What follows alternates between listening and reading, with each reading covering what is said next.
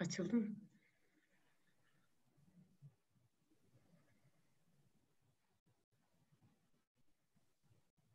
Merhaba, zannediyorum yayındayız şu anda. Ee, Saşa'nın girişini bekliyorum. Ee, odasının görselindeyiz. Açıldı mı?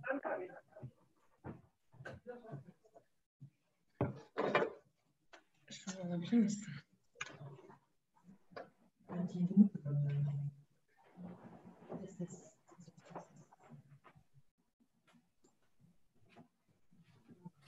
Just a second. Well, I'm trying to figure out. So I entered the room. It is like a lecture room. Okay, great. Okay, now we are live. We started Okay, wonderful. and One second. Ah, yes, indeed. I have to do. We are. We, started. Okay.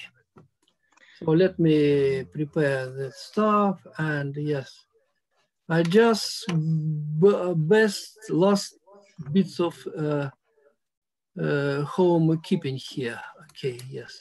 all right, people are seeing your screen from your iPad right now. Okay. Very good. Yes, uh, something stuck around here. Yes. Okay. It doesn't matter much. So I'm trying to do, uh, I hope it is uh, not what see my people, yes? Uh, th- they do, they do. They do, okay, they're pretty strange. Okay, what to do? I have to, ah, yes, indeed, sorry. Uh,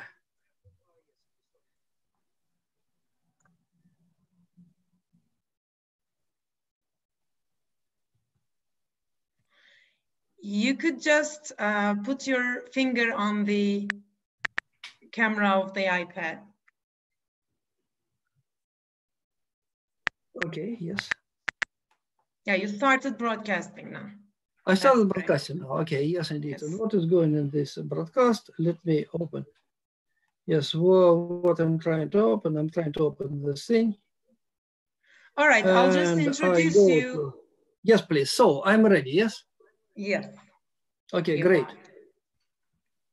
Sorry for all these technical mishaps. Well, yeah, we are all going through some uh, technical trials of our own uh, at this point. Hello, everyone. We are with Alexander Sasha Borovik.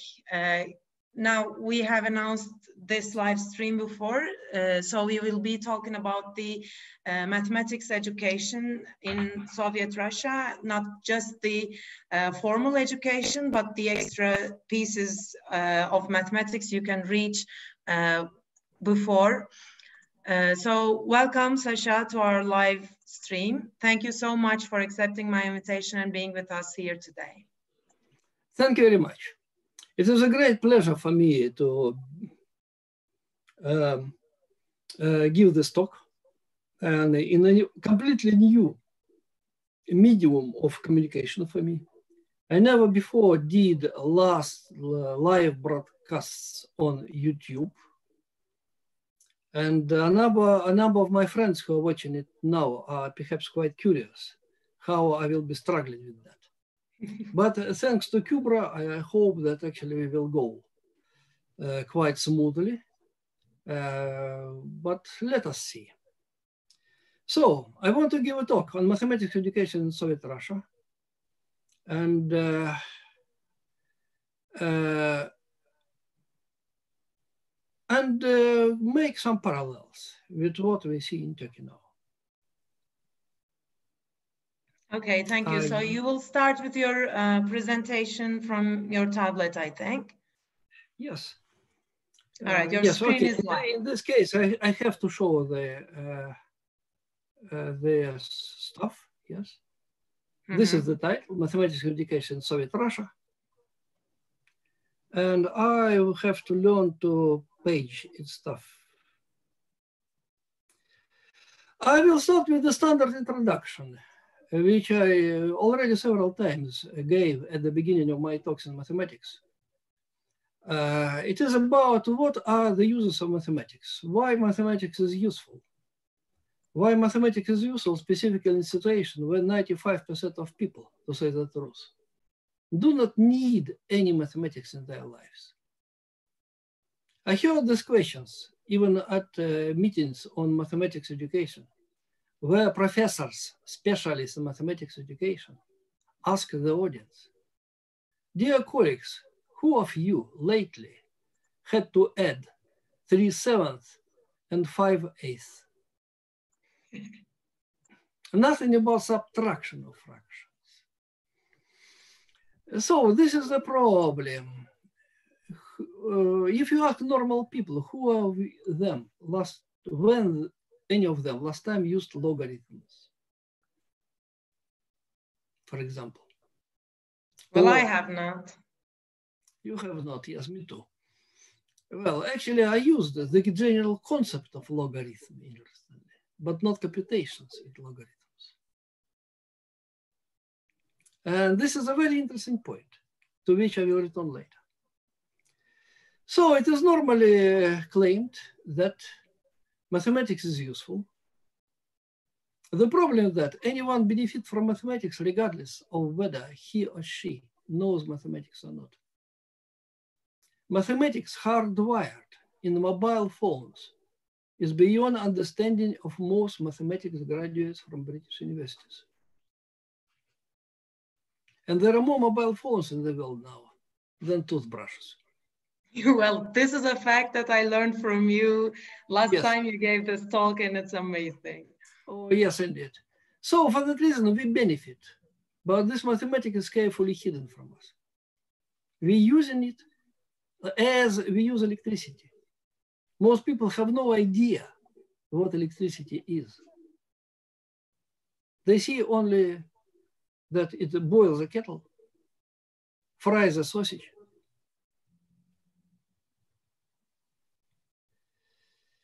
Well, and of course, this thing immediately started to, to look. I think you might be hitting the button on the uh, side of the iPad. Uh, maybe, okay.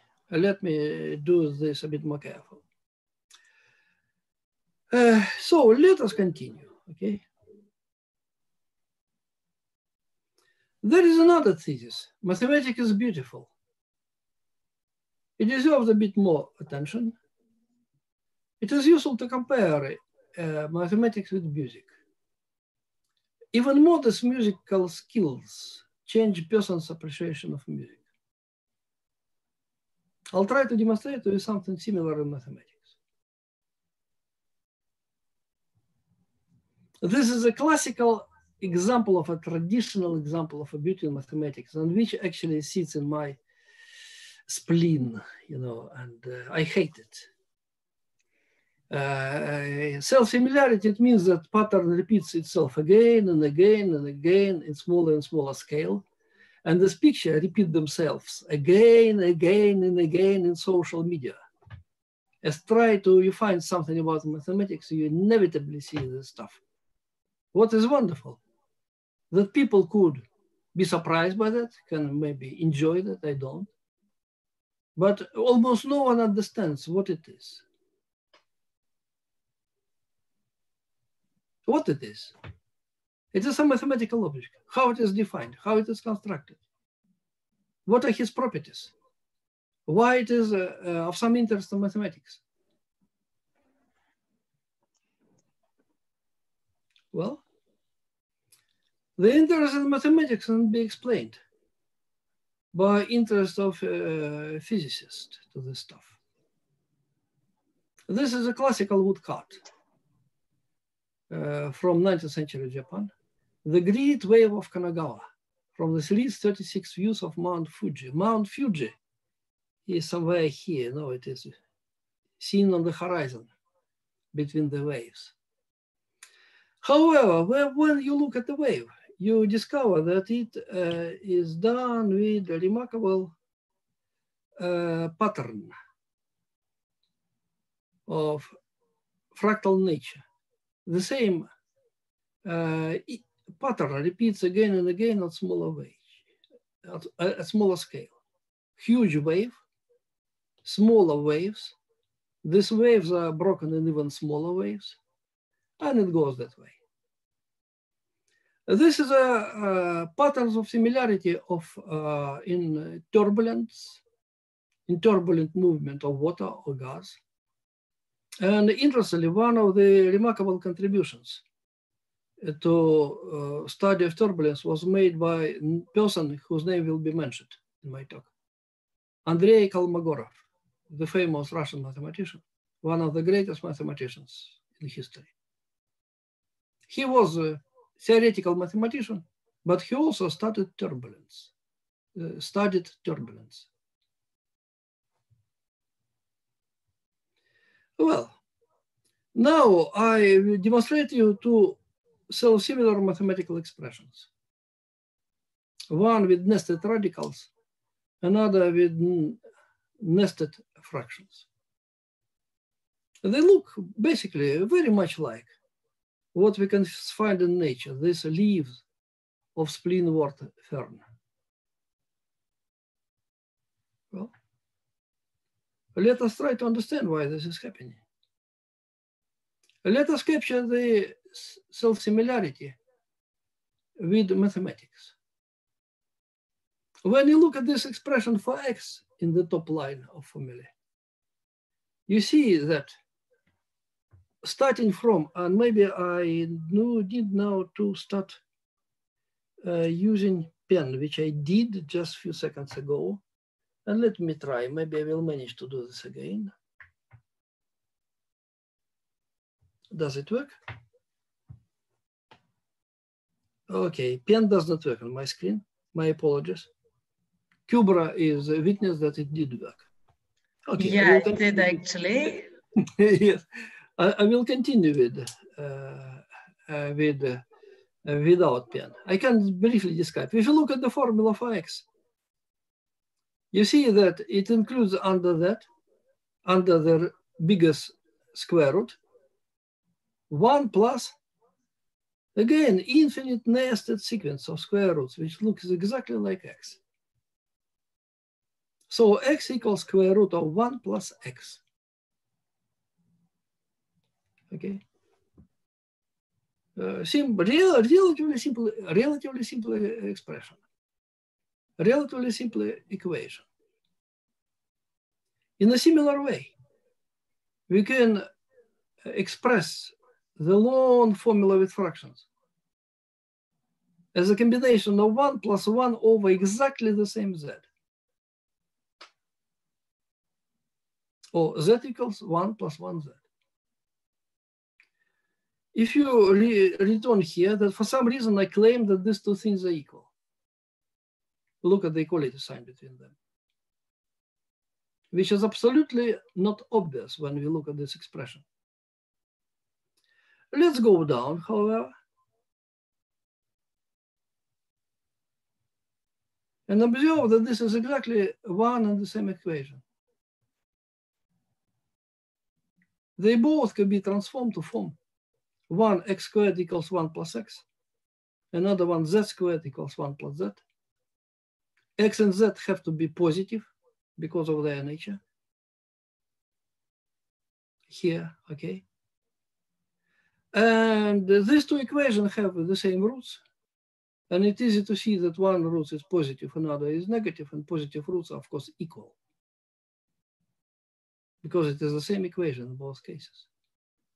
Hence, we have they're equal.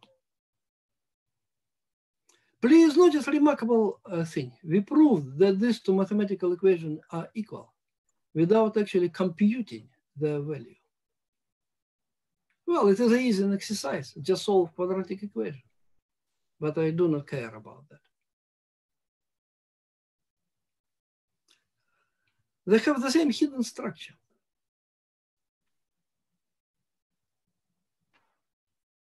Oh, good.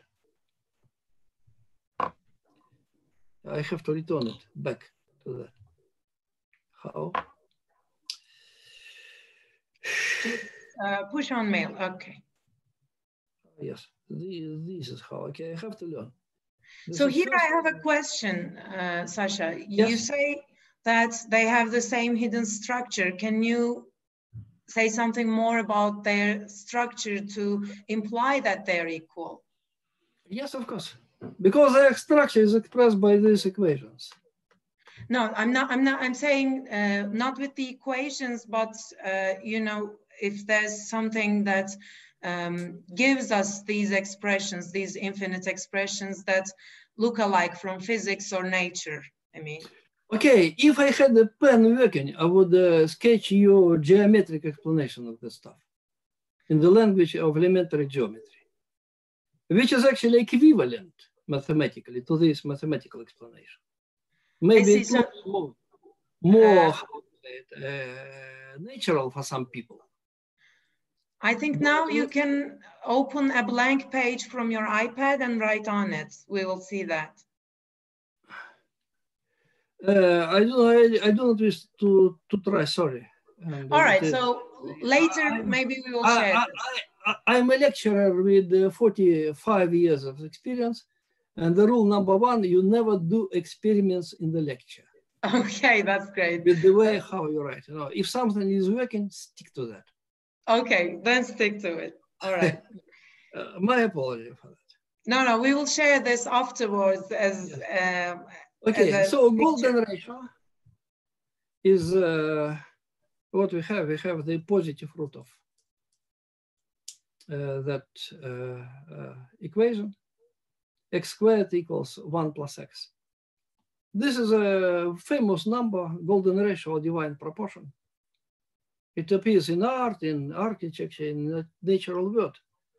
I have no time to discuss the exciting subject, but basically, this number appears everywhere because this is a square root of a simplest uh, quadratic equation which has no solution in radicals.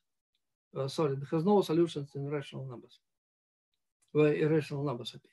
Another one, of course, is x squared equals minus one, which lead, leads to complex numbers. So very frequently, in my, most important things in mathematics are the simplest. Typical example that fields of uh, uh, fields of order two are much more important than fields of order three because they are smaller and simpler. Well, I personally have a problem with fields of order two but I'm not going to go into Everyone has problems with fields of order two. yeah. However, the most precious gift from mathematics, ability to think mathematically. I would use the analogy between perfect thinking style and perfect swimming style. And again, I find myself in a situation when I simply do not know how to use iPad. How to copy this link? I don't think you can copy it from the PDF, but uh, you can try to hold on it.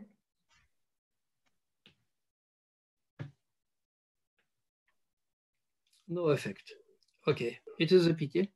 Okay, I will send email uh, later with the various, or, or, put everything on website somewhere with uh, various details, including this, uh, this thing. Okay. Total immersion file, uh, style. Look at this uh, smaller picture here. Only one hand sticks out of water. The swimmer is entirely underwater. The natural question is how this is possible, how he can breathe. He can do that because of extreme precision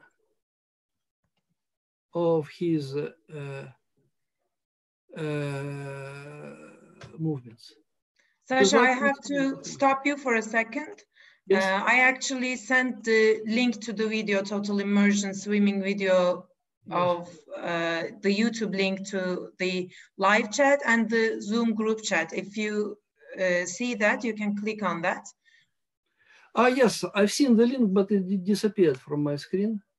Yeah, if, if you go to Zoom on your iPad, You can uh, see the chat and iPad, you can click on. And, uh, it is difficult for me to go on Zoom on my iPad. All right then. Why, why I have to go to Zoom on my iPad and not on my laptop? Uh, well, I, I copied the link, so I, I thought you wanted to okay. open it from your screen sharing. Okay, I have to go to Zoom. Yes, where is Zoom? Yes. Share, share device video on, okay. Off, on. So what's next? Uh, hit on more on the top right corner. Okay, I see. Uh, click chat. Okay, chat, yes. All right, you can click on the video now. Here. Yes. And it shows, yes? Yes, it is. And everyone can see it. Yes, if you hit play, everyone can see it.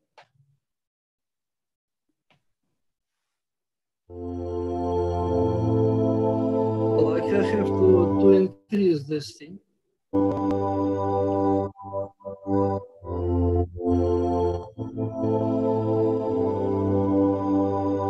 Can you mute the video? Uh, mute the video, yes. Yes. Yes, I muted it. Yeah, this is better. Uh, music is horrible, of course, but please notice the mouth is always under the level of water.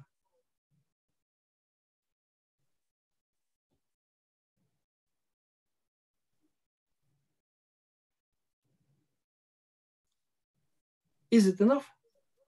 I think so. Can we return? Uh, and this is from underwater, how it looks like. But he does does not breathe at the moment, and maybe he will make a uh, take a breath of air now.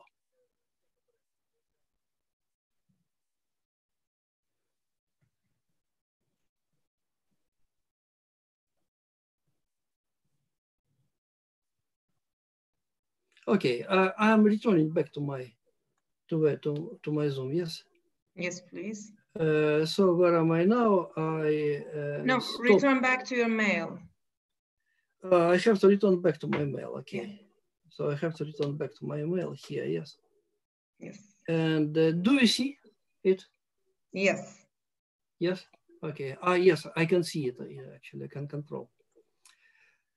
Well, first of all, a few words which are frequently uh, used in mathematics for description of mathematical activity.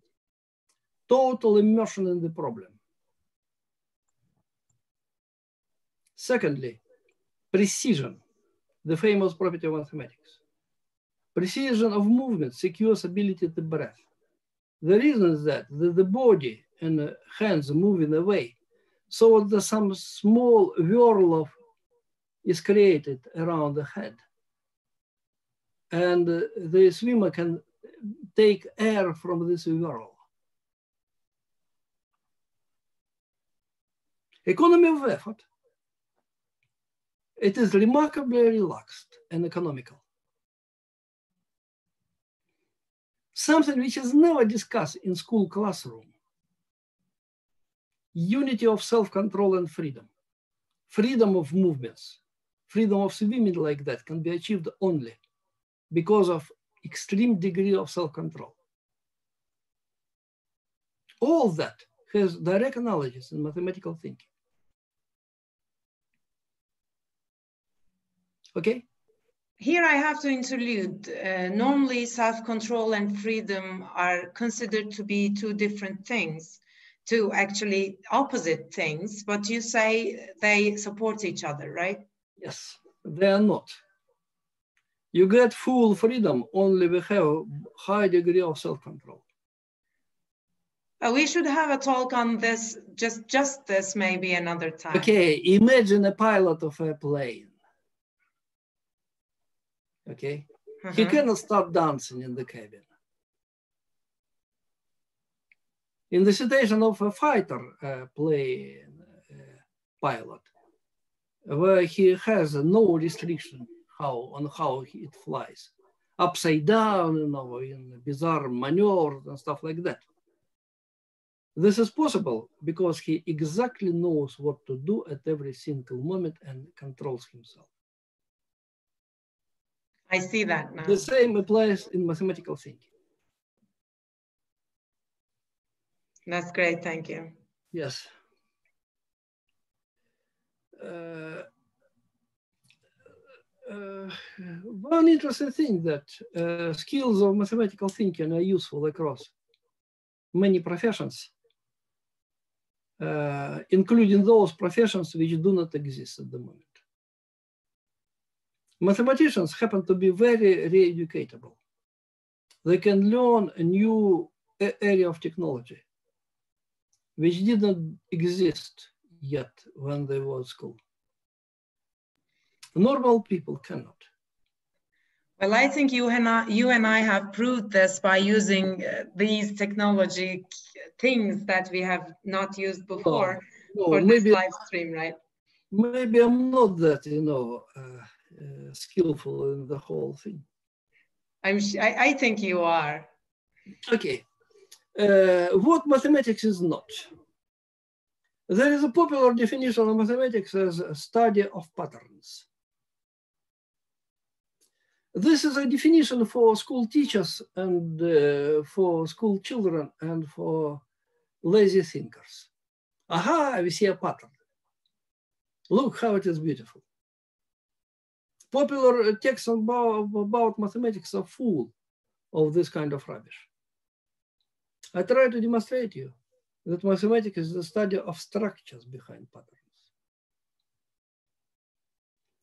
At uh, interviews for applicants to my mathematics department at Manchester University, I've frequently heard from my uh, from people whom I interviewed uh, you know, with uh, shining in eyes. Oh, yes, I love mathematics because mathematics is the life of patterns. And I advise them to look into a window at the building next to us, which has remarkable rectangular pattern of glass windows on the wall. And uh, ask him, you obviously see the pattern. Can you describe it? And they said, yes, it is rectangular pattern and blah, blah, blah. And then ask, and why? Why this specific pattern? Why not hexagonal cells, like in a bee uh, hive? And as a rule, people were unable to answer my question. And it is very simple. Because this pattern corresponds to the steel frame of the building, which carries all the structures. And which is built that way, is from repeated moduli, just because this is uh, makes it uh, easier to build. And again, uh, well, well, well. Again, I have to return back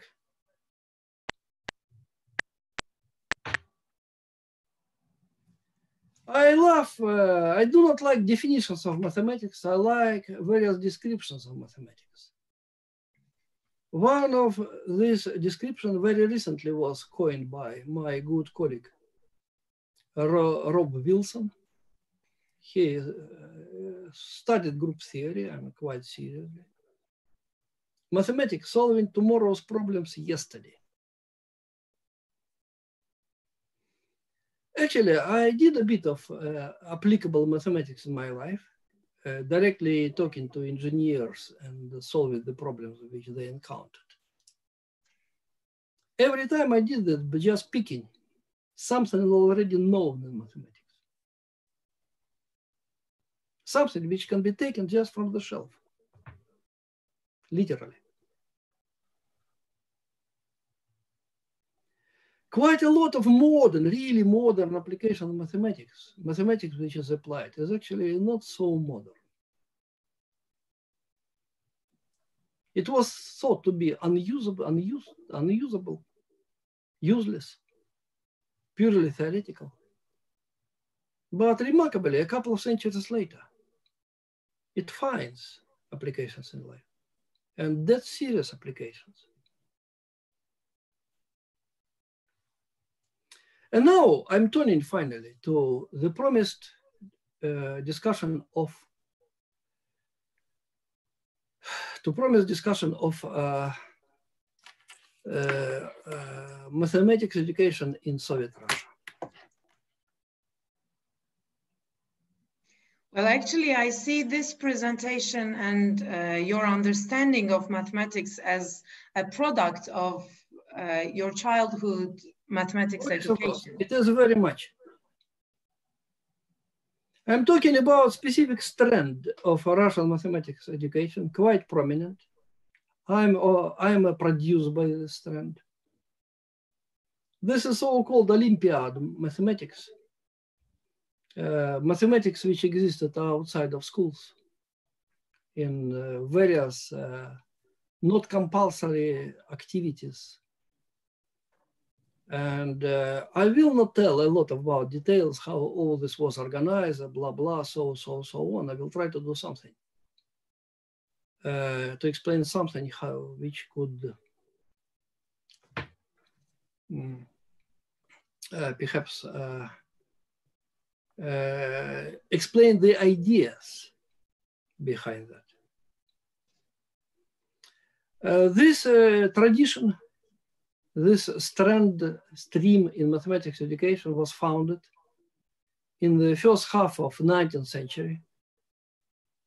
Uh, essentially, we are coming closer and closer to uh, uh, a century from the time when it started and was founded by some of the greatest mathematicians uh, uh, in the world of the time, and not only of that time. I can, uh, I have to give much more names, but I do not have time for that. Actually, I do not have any times for details. But names like Pavel Alexandrov, who is a, one of the founders of algebraic topology, Andrei Kolmogorov, who, who is a founder of quite a lot of stuff. Modern probability theory, for example, more modern mathematical statistics and uh, functional analysis and uh, a lot of stuff in algebra, in logic, and uh, study of turbulence. He did it, interestingly. And the Israel Gelfand, I had a, I was lucky enough to, to meet him and work with him and write papers with him for some short period of time. So at least uh, one of the three are, is known to me personally. And if I will have time, I will maybe able to tell him something. Um,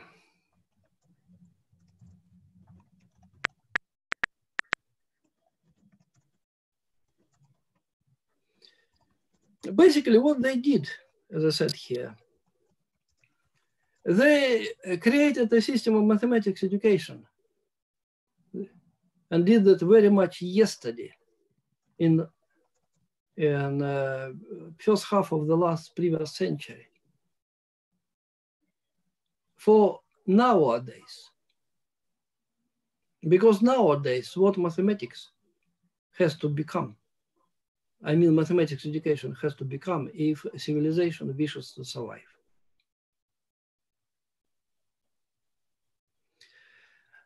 In short uh, formulation, what is important that in the when computers are coming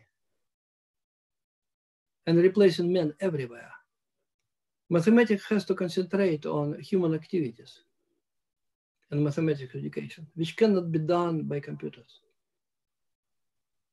And so far, the only remaining area is creative thinking. This is the reason when mathematics education have to teach not uh, specific routine skills like uh, made computations of various kinds and blah blah, but have to teach to think create, creatively. And there are some uh, traps in that concept. Because too many people think that, oh, creative mathematics, why do you have to, uh, to, to know how to multiply, to do long multiplication of number integers? Or operate with uh, expressions containing square roots. Where in life it is used? Well, it is used only in one particular place. In mathematical thinking. All the skills are completely useless for people who will not be mathematicians, who will not use mathematics creatively. But they're absolutely necessary for people who want to be creative in mathematics. It is the same unity of self-discipline and uh, freedom. It is the same need for extreme precision in everything which you are doing. If you just think, you know, in a kind of uh, way, vaguely described, you're not a mathematician. You have to be able to check at any moment that what you are doing is correct, that it is precise, that it is supported by calculation. Interestingly, calculations which mathematicians do in this situation are not of the kind which can be routinely done on a computer. Nothing to say about uh, notorious what it's called, calculator, yes. So just to be clear, are you suggesting that, uh, for example, the engineering maths we teach uh, in the universities is unnecessary? It is necessary. I teach engineers, uh, but this math is uh, taught to them ext in extremely bad way. They are taught how to look into a table, uh, to pick certain values of, say, some probabilistic distribution and substitute and make calculation on calculator. It is not understanding. Uh, they need, first of all, have deep understanding of that kind. And uh, Kolmogorov did very much practical in work for engineers. And, uh, and Gelfand Uh, was involved in a huge amount of very practical engineering work. And they can do that at that level exactly because they were able to think as mathematicians. Gelfand was a mathematical advisor of Andrei Sakharov, creator of Russian H-bomb. He worked with him on that. And he learned physics, he understood physics so that could freely talk to physicists working on the project of creating of a, a nuclear bomb. So it is well confirmed that uh, uh, in history of engineering that some of the most dramatic breakthroughs in application of mathematics to engineering were done remarkably by uh, pure mathematicians. Okay. I can give a lot of examples. Or, okay, so uh, what you're saying is about the method of teaching the uh, mathematics people need, right? Uh, about also about content of this teaching mm -hmm. and principles of this teaching, indeed. The principle number one, the criteria for success of, of a teacher is not students' performance in tests but ability to think. In really high level uh, places of teaching, there are just half a dozen in the world. In high level places of teaching mathematics. Tests and exams as a rule oral and take form of one-to-one -one chat between uh, student and teacher. It is not task of the teacher to check how a student calculates and whether he gets correct answer. Much more important to see how the student thinks, what kind of strategies uh, he or she is using uh, whether he is flexible enough, where he is prepared to uh, change approach to the problem is if the previous one apparently leads to dead end. A lot of, lot of these many things which simply never discuss in school, mainstream school mathematics, in mainstream uh, mathematics school education. So was it like this when you were in school? The, the school is mainstream, but you had some extra work, right? Uh, no, it wasn't that case. Uh, the, uh, the school was mainstream. I didn't have a, any extra uh, work. But at age 13, I suddenly was uh, called to take part in mathematics competition. And this changed my life. I easily solved this competition and dis discovered that problem um, were quite interesting. And after that, I noticed in the local bookshops some small booklets on this kind of thinking mathematics and bought them because they were dirt cheap. I could easily use my pocket money. And, uh, and started to read them and uh, eventually I went through entire system described by here. With the exception of mathematical circles, there were no in my life. Usually it happens in relatively uh, large cities. And uh, uh, but mathematical competitions were present, abundant and really cheap books, including very cheap small books on subjects which had no almost nothing in common with standard school mathematics, which were accessible, very uh, light-heartedly uh, written, and written by extremely good professional mathematicians. Then I got enrolled in every correspondence school, which I discovered there were three of them, and learned quite a lot of stuff from them. And uh, and uh, again, I some problems, some little book was written sent to me by for reading and some set of problems. I have to solve this problem and send solution back by mail. And someone wrote very detailed comments in my solutions. So there's a system of correspondence schools that uh, give you teaching and problems and tasks uh, from somewhere else, right? It's not your normal school that you registered oh, yes, to? yes. Unfortunately, in uh, the Western world, the school as a rule stick to training for passing school examinations and maybe enter examinations at universities.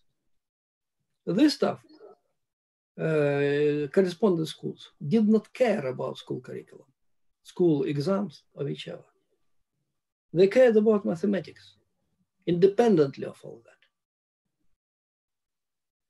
Then specialist mathematics schools, and eventually I got into pretty selective specialist physics and mathematics boarding school.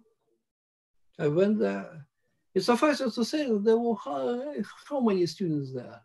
Uh, yes, there were only three top classes, well, oldest, eldest classes of school age there.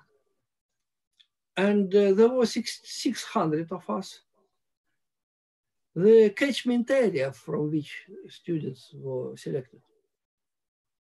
Covered territory with population of the time of 40, 40, 40 million people. And it was all uh, Siberia, Far East, what is now Central uh, uh, Asian republics like Kazakhstan, Uzbekistan. And quite a big, big territory. Oh, sorry, I have to switch it off. Yes. My apologies. Uh,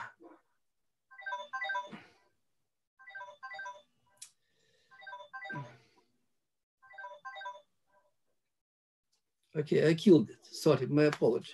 Okay, no problem. Uh, I, you are simply forgetting it. You know, when, when I'm in lecture theater, the first thing which I do with my phone, I demonstratively switch it off in front of all students. And That's the best way of reminding, I think. Yes. And uh, unfortunately at home, I do not have this, you know, automatic habit. Oh yeah, th this is a new experience for all of us. So I think those are all acceptable.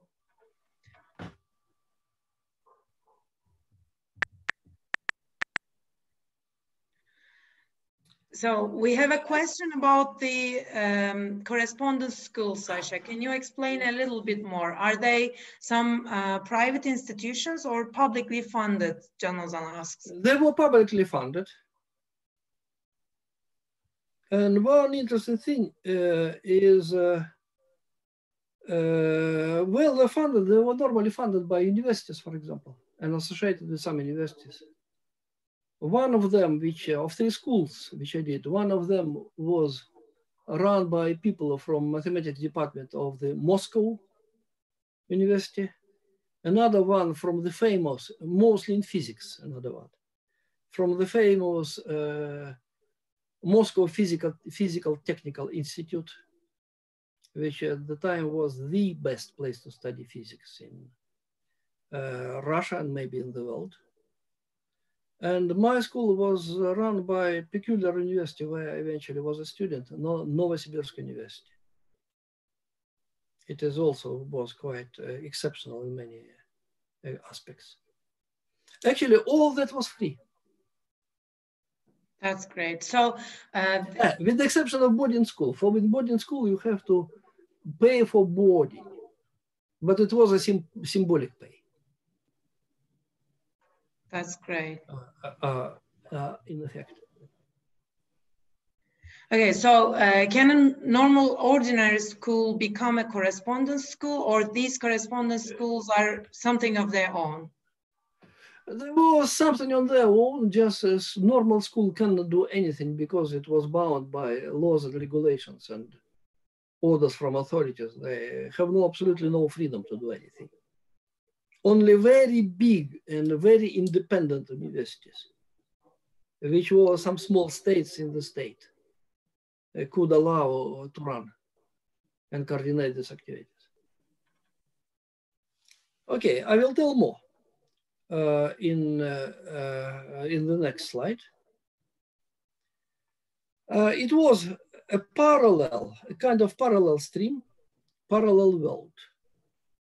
It had remarkably little interaction in many cases with the mainstream school. In my case, zero interaction with the mainstream school.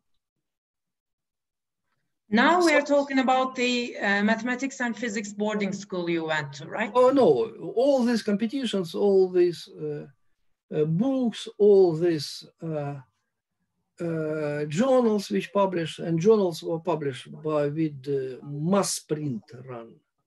Okay, this is the yes, parallel stream. Yes. All that existed without touching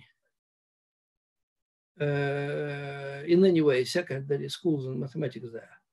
And schools did not touch. As I, when, when, when I was, as I already said, when I was a student at the schools, in three simultaneously. No one in my school knew about that. I just got enrolled. And, uh, and so later, when I was a student, I was actually take part in running uh, correspondence boarding school at Novosibirsk. So I knew it from both sides. I see. Yes, and uh, so it has to be emphasized that key role in all this for all, for all years of existence of the system since 1935. Uh, key role was played by professional research mathematicians. It was founded by professional research mathematicians. Uh, uh, books and booklets were written by professional research mathematicians. Well, there were others, but the one which really matters you know, the ones which really mattered, which really were interesting and exciting to read, were written by professional mathematicians, sometimes very young, very beginner researchers. In a specialist boarding school, mathematics was taught and physics by uh, part-time as a by professional researcher from academic institutes whose day job was research in mathematics. And what is important, a child can be drawn in the system without no one, with the exception maybe of immediate family, being aware of that. All that was free. The natural question, where did money come from? Hmm. Okay, we come to the end of the uh, prepared text. And so from now on, I start talking without uh, slides and yes, without any written record. I wish to emphasize. I will be talking about politics. So uh, I'm sorry to interrupt. I'm going to uh, cancel your iPad connection. Is that oh, okay? Oh, yes, please. You can cancel so that people can connection. see you. Mm -hmm. Okay.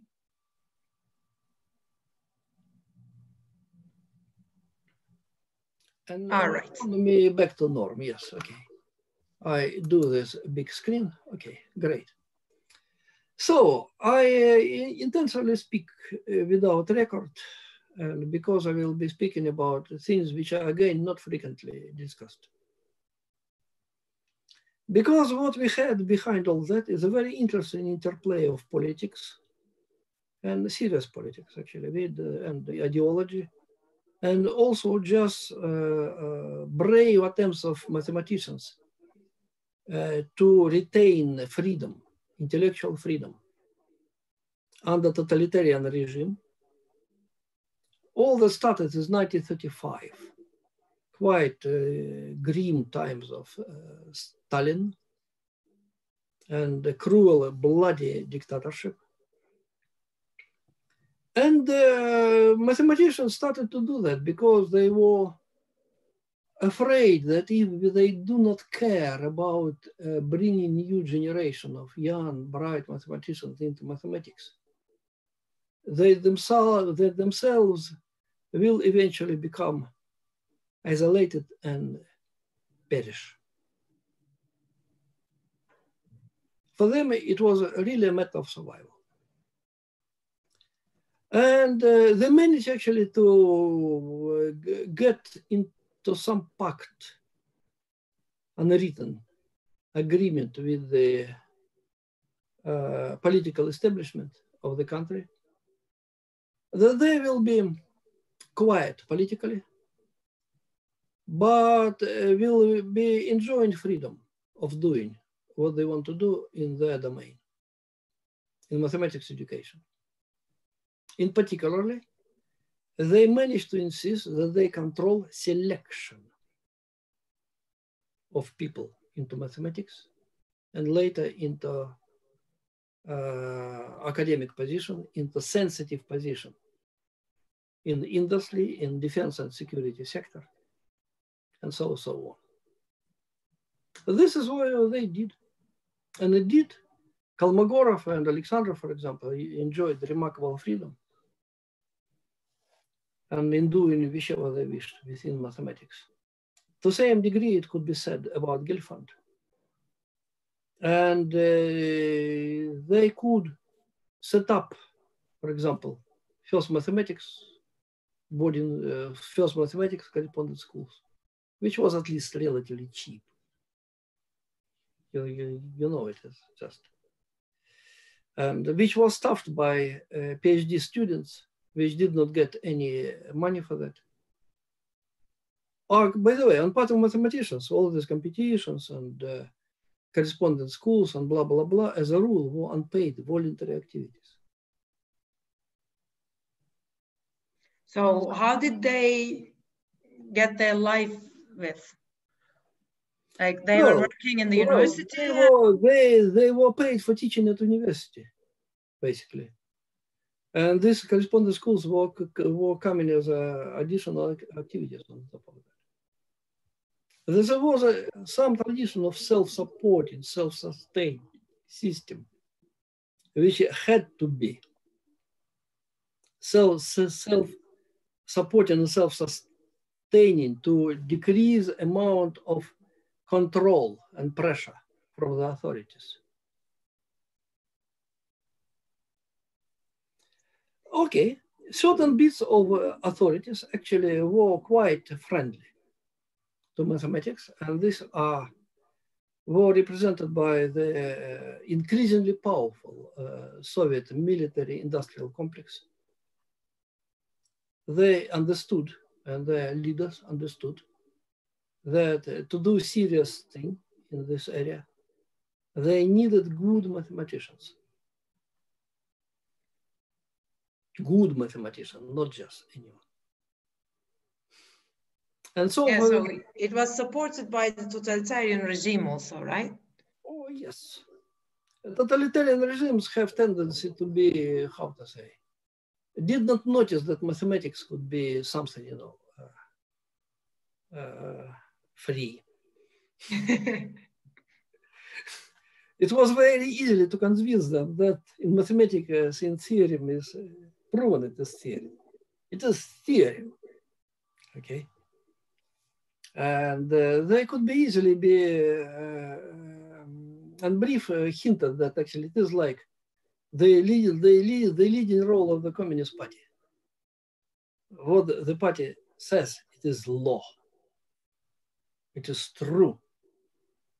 You know, it is necessary. The same as in mathematics. Well, uh, it is interesting that, uh, for example, mathematics was uh, the only science which apparently flourished in Albania during uh, the uh, Maoist regime there. And uh, so it is quite interesting. And so for that reason, and when Kolmogorov and Lavrentiev, Lavrentiev, another name which has to be mentioned here, he started in the purest of pure mathematics in descriptive set theory. I, I do not go in the detail, but I would say that it is very abstract and as far away from any kind of application in real life as possible. Perhaps even now. I think so, yes. But he at some point switched to engineering mathematics and became great expert in uh, hydrodynamics of high pressures and high velocities of explosions, basically. And uh, did a big, great deal of work for the military and was their good friend. And in particular, for that reason, uh, it was uh, a decree by the Council of Ministers in 1963 was uh, signed by, interestingly, not by uh, minister for education or something, no, but by the all-powerful Dmitry Ustinov, the head of the entire military industrial complex, legendary man. And, uh, uh, and uh, uh, four boarding schools were created in Moscow, Leningrad, Novosibirsk, uh, and Kiev. And the school in Novosibirsk, when it was created, just from nothing. Actually, it appeared for existence before the formal decree was signed and published. Uh, it was housed in, um, remarkably, in a building which was built by the Soviet Army for the Political Military Academy, a place where political officers for the army had to be trained. For that reason, the opening of the academy was postponed and uh, a very small school at the time, about 60 people, got huge building in their possession. It's just unbelievable, stuff. This is what I would call uh, policy priorities.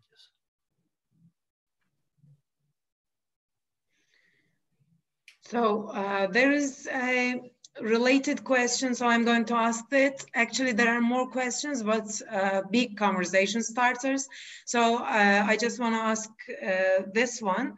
How was this free mathematics was affected by the collapse, collapse of the Soviet Union? Uh, well, it became a free mathematics elsewhere. a lot of mathematicians left the country. Well, basically I left for that reason. Technically speaking, I left uh, before the Soviet Union collapsed, but it was closely linked. And interestingly, for that reason, now in uh, America, for the United States, there is a strong tradition of mathematical circles and homeschooling, interestingly, teaching mathematics uh, to children in the family. Uh, there are different uh, streams in homeschooling in America. There is a, a, re, a, re, religious right stream uh, where parents do that because they do not want their children be uh, in a school introduced to sex and to theory of evolution. Yes, and there are educated people, mostly university public, uh, you, you, university public, who just uh, who, who are in despair of uh, American mainstream schools and specifically mathematics there. In the second academic stream, uh, former Soviet mathematicians are quite prominent. They brought in some bits of this tradition. So uh, the free mathematicians left there and uh, what is left for Russia now? Some people- the competitions continue. Uh, some people left in Russia. Uh, some, some, some mathematicians are still in Russia. Uh, Russia now is a, uh, uh, interesting place. the schools are schools in general are in serious declines. However, uh, mathematical classes in schools and the specialist mathematics schools exist in abundance. Now they are frequently actually quite expensive and uh, serve children of wealthy parents. And, uh, uh, and it is also uh, now between uh, captains of uh, big business, there is a understanding that they need not just arbitrary mathematicians, but only very good. Extreme manifestation of that is the recent development in Yandex. Maybe you know the name of this company. Mm-hmm. It is a huge internet company and IT company uh, in Russia. They in, they uh, brought one of the most famous schools, school number 57 in Moscow, into their corporate structure. It is uh, now uh, part of, uh, in fact, part of Yandex Group. It is very interesting. And this is done specifically because they want, they already had their own uh, higher education establishment uh, in computer science and computing. Uh, high level, very high level, very intensive courses.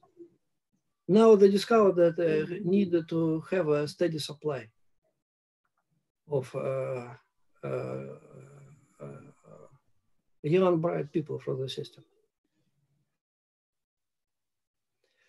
One of the uh, private universities in Moscow, Higher School of Economics, uh, runs a magistrate, MSc, Master of Science or Magister courses.